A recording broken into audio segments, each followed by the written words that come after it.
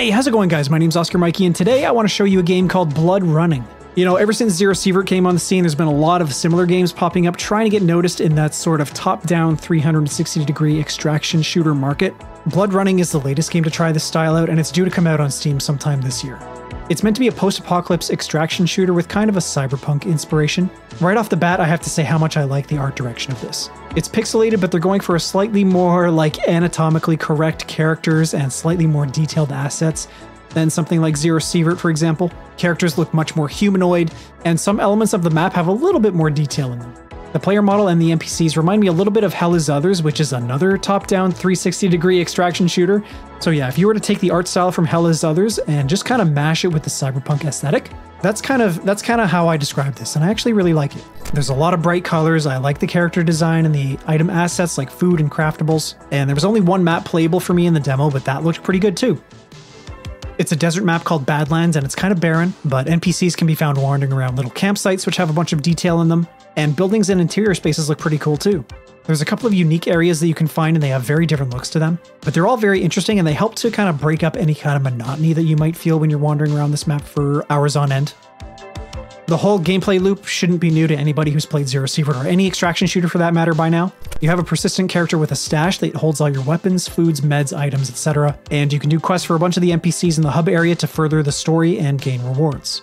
So when you hit tab, you'll see a lot of familiar information you've seen in other games like Zero Sievert. There's tabs for inventory, quests, skills, and a map when you're in raid. The inventory tab shows you all the standard loot, gear, and health related stuff. You can carry two weapons, a backpack, and four armor pieces, a helmet, a chest rig, pants, and boots. You can also see your carry capacity, money, health, stamina, energy, hydration, hunger, and intoxication, which is exactly what it sounds like. It's how drunk you are. And then there's also an XP meter to keep track of your progress.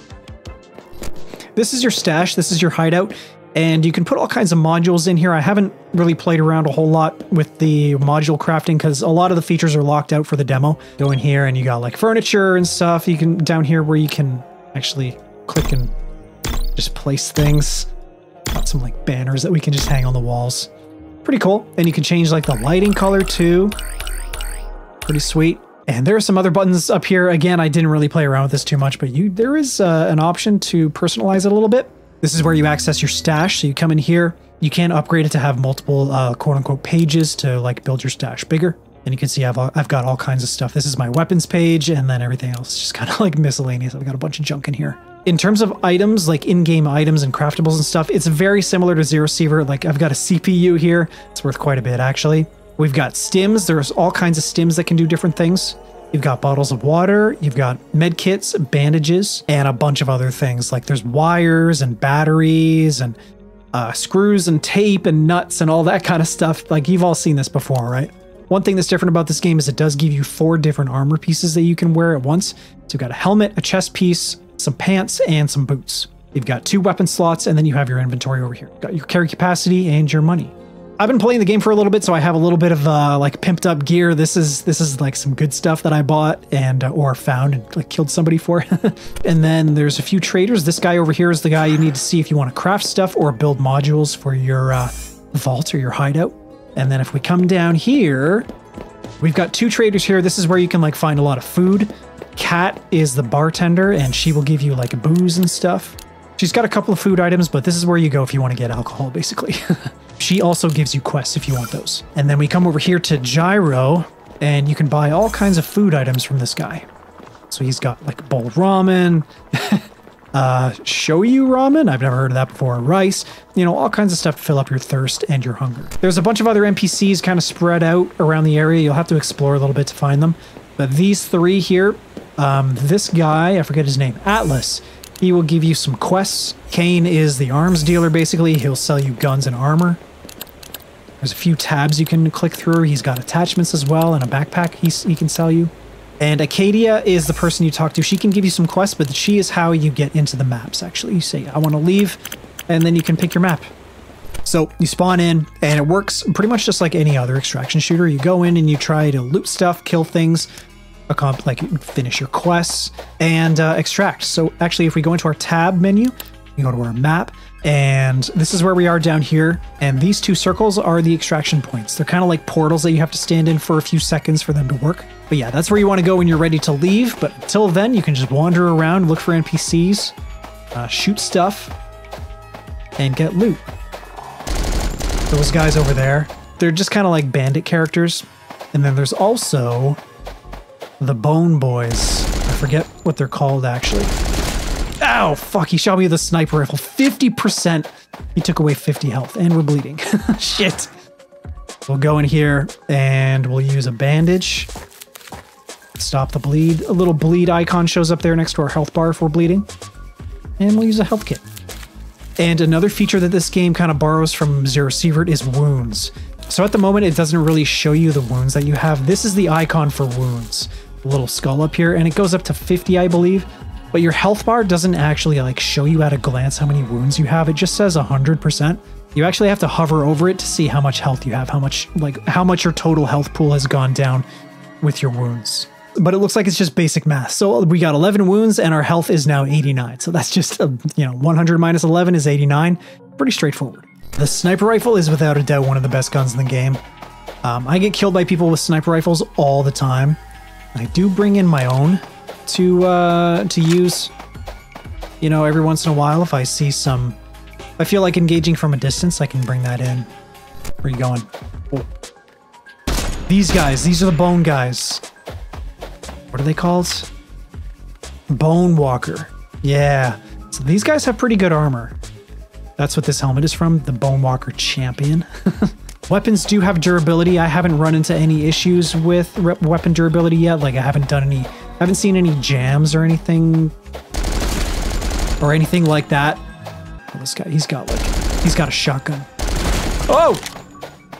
Okay, our health is really, like, look at our health. We're already down to like 40 health. Was that like 40? Jesus. And we got 10 wounds. Yeah, this is one of the bone, uh, the bone walker camps. Fuck that guy up. Whoa.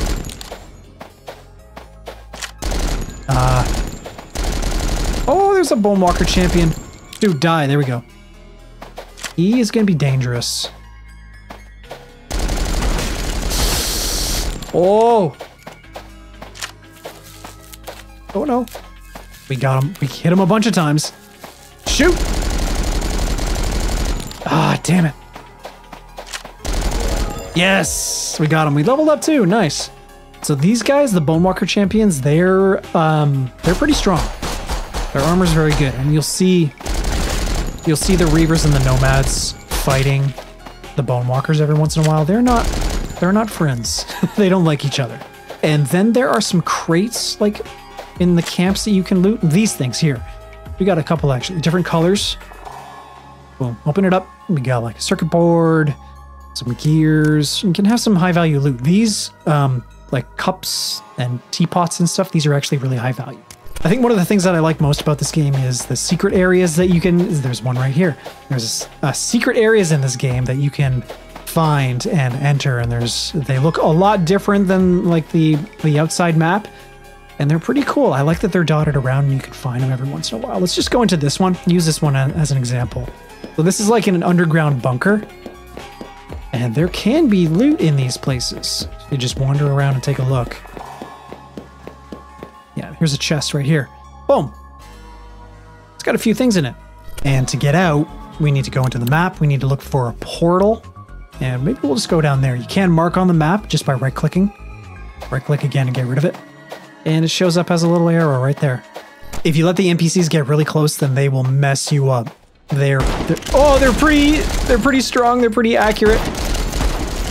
Their weapons do a lot of damage. Ooh, we leveled up. Sweet. Another another boner boys camp. oh, the extract is right here. Oh my god, it's a freaking bloodbath. Ah, I just want to get out, please. No. Back. Back. There's so many people. Let me out. Let me out of here. Oh god. I think it should do it. Yeah. nice. All right, we got a bunch of kills. That's awesome. And yeah, that's the basic gameplay loop of the game, guys. You go back to your stash, you drop off your gear, you sell stuff for money, buy new gear, get better stuff, and go back out and do it all over again. This game is very difficult, okay? Like, I do pretty well in Zero Sievert, I think, but this game kicks my ass on the regular. I think there probably needs to be a little bit of a balance change made here to make enemies a little bit more forgiving, because they have really good accuracy and they can rip you to pieces pretty fast. There were a handful of weapons in the build that I played. I wasn't able to mod them, so they were all stock and pretty trash. You can buy an assault rifle with a red dot from Kane, who's like the arms dealer NPC, and that was the best one I tried really, but the sniper rifle is also pretty good and it works the same way it does in Zero Sievert. You can also get different ammo types for each caliber and it breaks down into armor penetration versus flesh damage, just like it does in pretty much all the other games. But there was one actually really unique round that I was able to use uh, in the demo. It was the 762 by 45, I think that might be supposed to be 54, uh, C round for the sniper rifle. This thing actually multiplies the sniper's damage by 500%, but it decreases the accuracy by 2000%. Kind of insane, but believe it or not, it's actually pretty good if you use it right. And that's pretty much it for Blood Running, guys. I really like the aesthetic of this game and the cyberpunk post-apocalypse uh, art style. The gameplay is fun and rewarding, just like a lot of other extraction shooters. But just a heads up, there are some balance issues with combat, and those crashes from the quest menu is a problem too. One of the things that I really love about this game is that they did put those secret areas in the map. It really does help to break up the monotony of treading over the same ground over and over and over again by putting little secrets for you to find and like making them so di- like they're actually really different. Some of these areas have like wildly different environments and enemies to uh, run into in them, and it really does help keep the map feeling fresh. I hope the other maps in the game will be like this too, because finding these secret areas were some of my most like memorable moments when I was playing the demo. Anyways, guys, that's going to be it for this video. If you did enjoy this video, make sure you leave a like on it for me. It really helps with growing the channel and appeasing the algorithm gods. And if you're new to the channel, maybe consider getting subscribed so you don't miss any future content like this. Thank you so much for watching, guys. I really appreciate you, and I'll talk to you in the next video.